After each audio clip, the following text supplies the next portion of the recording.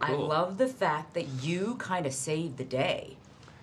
You get that ship out of there so that they can go on to, you know, destroy a Krall. Right. Would you tell Chris Pine that? that I saved the day? I'm telling you. Send him a I note. I was cheering you on.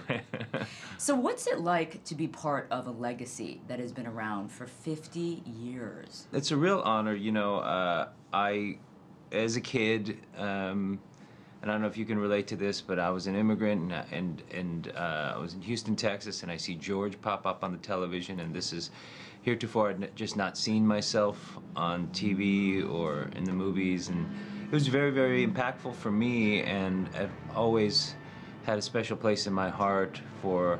Uh, the, that the original series uh, because of that primarily and and I just think uh, you know Star Trek does um, puts positivity uh, positivity in the world. It's uh, it's predicated on peace and um, seeking out knowledge, and so it's a real honor to be associated with it. And unity, right? And unity, yes. Uh, among all races, all backgrounds, all cultures, especially Yeah. that's kind of relevant today, isn't it?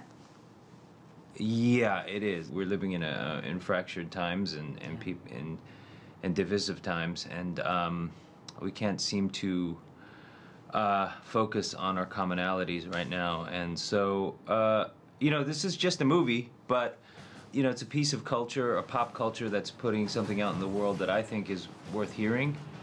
So, and yeah. I think the whole idea of diversity, right? I mean, Hollywood has been criticized for the lack of diversity, right? We've heard about this, the whitewashing controversy. You even tweeted last year saying, you know, this whitewashing stuff is bull Yeah. expletive, right? yeah, I mean, and it, it's uh, to me the the most egregious thing was just putting on yellow face. That was very regressive to me. But in Star Trek is just predicated on diversity. You've got this very diverse bridge and.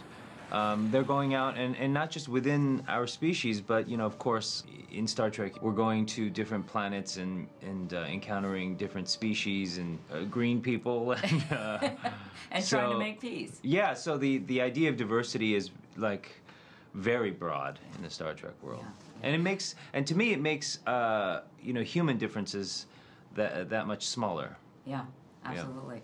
Um, well, one other piece of diversity in this latest film is that Sulu is gay. Yeah, yeah. When you found out about that, what was your initial reaction? My initial reaction was uh, when it was pitched out to me. I had a few concerns. Uh, one was I wanted George to be okay with it, and I.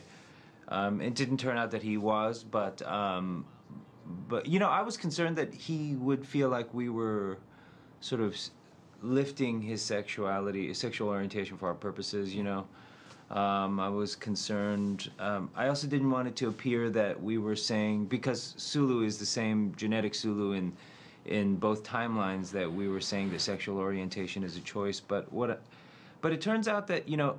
It, it was really handled very well, and I was concerned that it be handled the right way.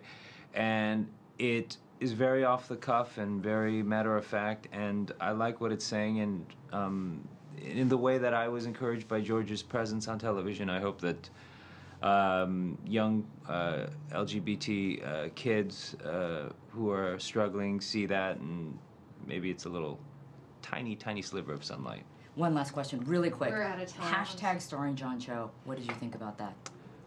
Um, I thought it was great. I mean, it sparked a great discussion. Um, it was very clever and thoughtful, and somehow it got us talking about an issue that people don't really want to talk about. Yeah. All right. John, thanks so much. Thank you. Yeah, it was a pleasure. Cheers.